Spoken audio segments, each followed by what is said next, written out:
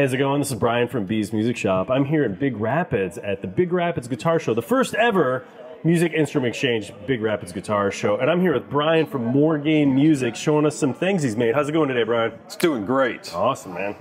Uh, so you make these guitars, huh? You're uh, you're you're building I- some stuff here. I am building a lot of stuff. Um, I guitars are a big part of it. Um, Let's people, that right yeah. up. That's, that's super cool. I love the wings So- in here. So what kind of wood is this? So this is poplar. This actually came from Home Depot. This is padauk. uh, you know, wherever you can find it. You know, these are more like prototype mock-ups. So, you know, it, It's awesome. it's it's Yeah, I easy love, to get your love hand on it. the, the little. The, it's really cool how you, how you did the top here. Well, thank you. Yeah, Yeah. this was uh, based off of uh, uh, it, a guitar from the '60s called the Airline that they sold at Montgomery Ward's. Oh, absolutely! right? I love those. the And, Reza um, glasses and stuff. Yeah, yeah. yeah. And uh, we call it the Orbiter because it's you know it's a, it's a little higher. It's, Yeah, okay. Um, so yeah, we, we this was originally kind of a pick guard that ended here, and I was like, oh, we could extend it, and it would look really cool. And we'll put the little Yeah. F-style Mando horns on it, and adjust all the curves, and make it looks like absolutely nothing like the original. But you know, It is, but once you said it, I got like, especially this horn and stuff. I kind of like once you said it, it clicked with me. That's where I'd seen some of that before. yes. So you're just prototyping out a bunch of models. Is something you're looking to like produce, or just do like custom shops? It's or? custom shop basically, Yeah, um, yeah. And, and I try to keep it like affordable custom shop. Yeah, you yeah, know, yeah. you some people hear custom shop and the, the dollar signs go. We, we can do it for for you know with some off the shelf parts and stuff and keep the price down. awesome. Are you CNCing these, or you pin routing them, or what I, you? I am CNCing them. Oh, nice, nice. Yeah, yeah, that was one of the big investments for the shop oh, initially. Oh yeah, yeah. those so are those are cool machines. this this is our offset. We call it the Riptide. nice, That is walnut. That is locally sourced. nice. That's super cool.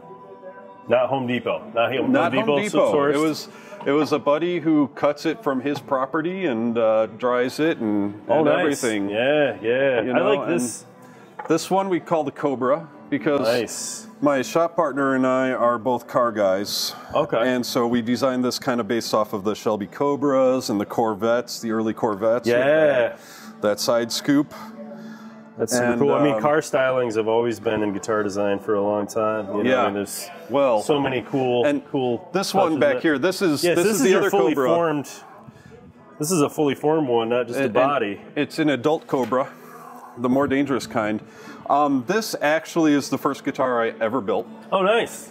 And uh, again, this is a figured African mahogany, and this is a nice flame ambrosia maple that I've also found at Home Depot. Nice. no, Railhammers from our buddy Ken. Yes. Those are great. Ken, Great Ken was a, a great guy to talk to the first yeah. time I talked to him. Man. Oh yeah, great- yeah. He was just guy. in our studio for a podcast like two days ago. We yeah, love him. Yeah.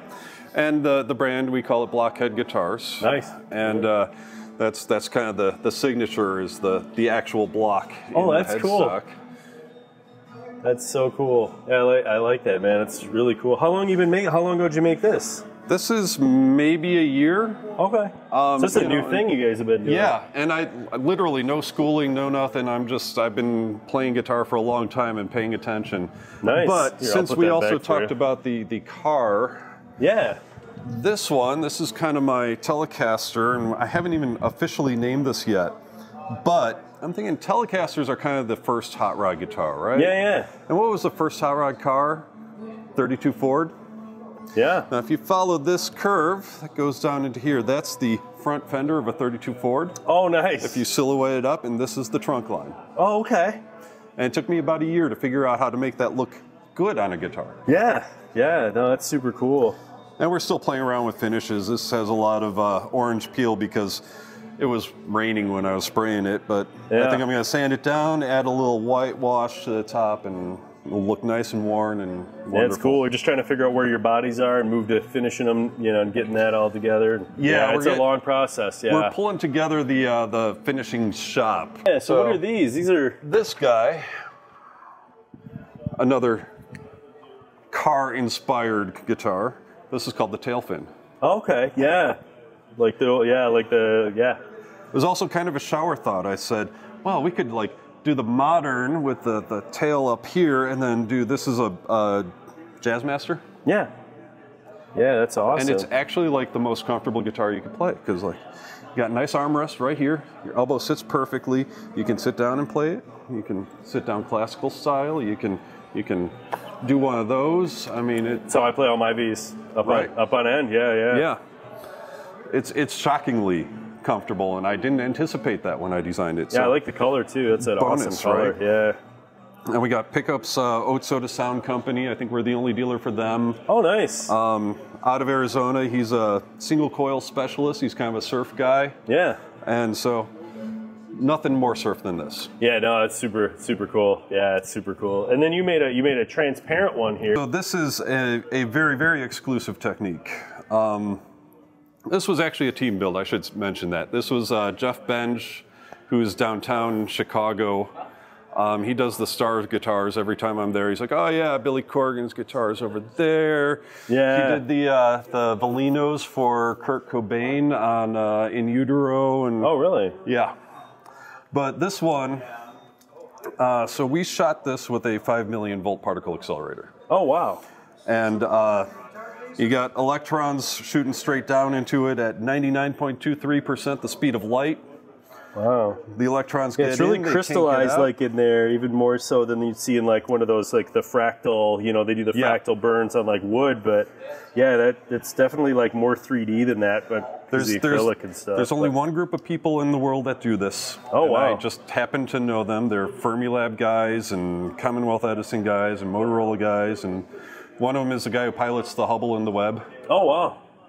And uh, yeah, so when the plastic vaporizes, it's about 3,000 degrees Fahrenheit for about a millionth of a second. Oh wow. That's hot. Yeah, it's pretty pretty hot. Yeah. Pretty hot, yeah. You come out of the factory just smelling like plastic. Yeah, and it's know, also- it's got to be good for your lungs. It's also pretty heavy, but man, Yeah. it's a great guitar. Super cool. I love the way you put the LEDs in the edge because yeah, really like it's so 3D, Yeah, like so much more. yeah, and and this is, I mean, you can see it's Oh yeah. It's oh man, there. that's really cool. it's in there. should get down like in there. Yeah, it's like The- if you look at the edge.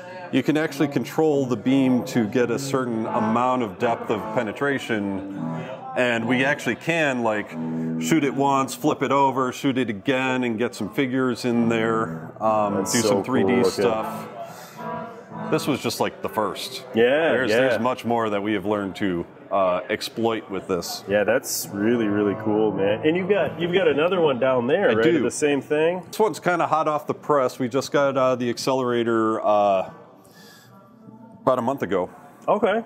And so this one is going to be, this is three pieces of acrylic. And I think we can actually maybe get these, uh, maybe not. Okay, so three pieces of acrylic shot separately. And we're going to set this as an inset into a piece of mahogany. Okay. And the idea is kind of that with that, I can bolt the neck onto wood, I can set the bridge into wood and get more of the wood tone. Yeah, Because and lose the acrylic- weight of the acrylic. Yeah, the acrylic's exactly. very heavy. yeah. Um, but yeah, with with three different pieces, I can exploit it a little bit and have you know the nice wing patterns here, um, and and two shots here. Yeah. So how do they how do they do this? You said they do it with a particle accelerator. Is it like do they do you like drill a hole and it goes in there or No, so we actually have to rent an entire facility to do this. Wow. It costs us. It's around fifty dollars a minute. wow? Yeah, yeah, it's not cheap. Yeah. Um, and you've got like a three-story vertical linear accelerator that comes shooting straight down, and the beam rasterizes across like this, and it gets fed underneath. Okay. And as the beam is going in, there's like lethal doses of gamma and X-rays, so you, you keep that nicely separated. wanna off become from the you. Hulk. No, no, no. But the accelerator is used uh, in industry to kind of cross-link. If you've got polymer chains going this way, it cross-links between them for more strength. Okay. So that's basically what what they would use that for. We just kind of come in and go guitars, art. Yeah. You know, why Yeah. not? It looks really cool. I really like how like like I say 3D it is usually because it, it reminds me of the fractal patterns you see like on you know on wood when they do that. But Yeah. since it's acrylic, you can see down into it This- a lot more. And, and it is. It's true fractal. Um, if you wanted to microscope it down and down and down, it just keeps branching and branching and branching. Yeah, that's awesome. Well, thanks, man. I appreciate you showing me that. You said you Absolutely. had some pedals here you really like talking about. So I mean, we have lots and do you, lots do you have a store then? I'm guessing. We do have a store. We're, Okay. we're in Chicago, and as a custom shop, it's not a big uh, showroom. We're, we Yeah, just kind of have a, a little space, and people come in and talk to us. And we'll build just about anything. We will build your pedals, straps. Uh, I make my own picks, uh, guitars, obviously, just just about anything. I'm doing some pedal boards for some big guys right now. But uh, one of the things we really like to do is find people that haven't been discovered yet. So, uh, one of our favorites is uh, Thimble Wasp. These guys are out of uh, Columbus, Ohio. We were their first dealer, and we are just about to do a faceplate in that Lichtenberg figure for this pedal Nice. with them. But this is one of the coolest delays I've ever heard. Yeah. There's there's a couple things on there where they have these arpeggiated synthesized things that usually I think, well, that's cool, but I could never use it. The way they program this, totally usable. I've written songs with it just as an inspiration. Um, one of the coolest delays I have ever seen. Yeah, that thing's awesome. And uh, we just picked up this one too. This is, if you like knobs and switches, This has no knobs, all switches. all switches. All oops, all switches. So this is this is called the Abacus, and this is an overdrive. Very great sounding, very flexible. You have bright, normal, low gain, high gain, three different clipping diodes, and now you have an Abacus, right? So Yeah. you've got you've got the beads. yeah. This is your gain knob. This is your output volume knob. You can see there's four beads, two beads, two beads, one bead, one bead. So if you wanted to turn it up to say seven, four, six, seven. Okay. That that's a really interesting way to do that. It's it's a really unique interface, and if I thought it was just a gimmick, I would not carry it. It is one of the most flexible overdrives you will ever hear. and I guess you don't have to worry about your knobs moving around. No, no. That's that's that's great. That's super interesting. I didn't know where you were going to go with those beads, and that wasn't where I thought you were going to go. So I, I enjoy that. Let's yeah, let's not go. I you know, important for me.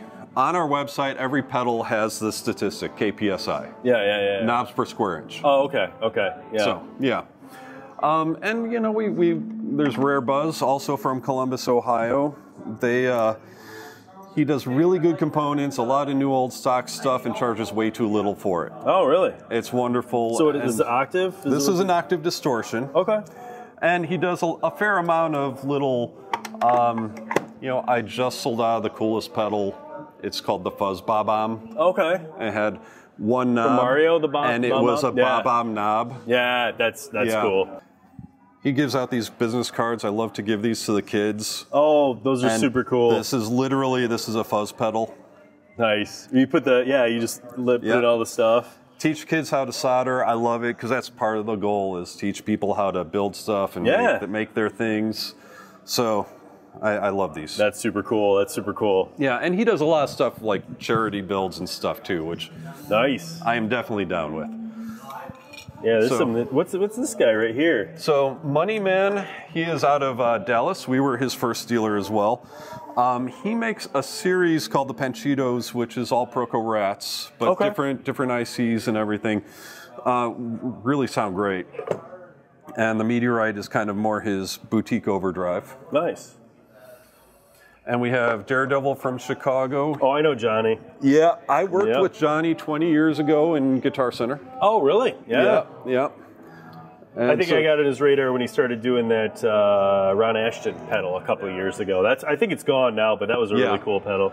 Well, he was pretty much my first call. Oh, when, yeah. when I started, I was like, okay, we're gonna help you build up. So Yeah, I remember the hype pedal. I feel like I have one of these somewhere. it's great. I mean, Oh, yeah. You don't need any. That is no knobs. Zero. zero knobs. KPSI, Zero. right there. Yes. Yes. But it's a stackable overdrive. Yeah. That's what it is.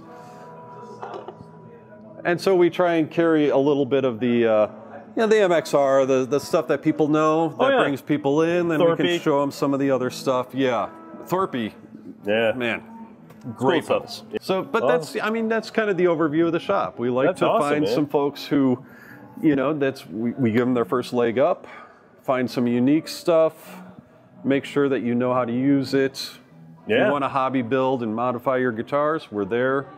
We're there as a resource for parts. We're there as a resource for knowledge. Awesome, man. Well, hey, appreciate talking to you today. Thank you very much. Great, thank you.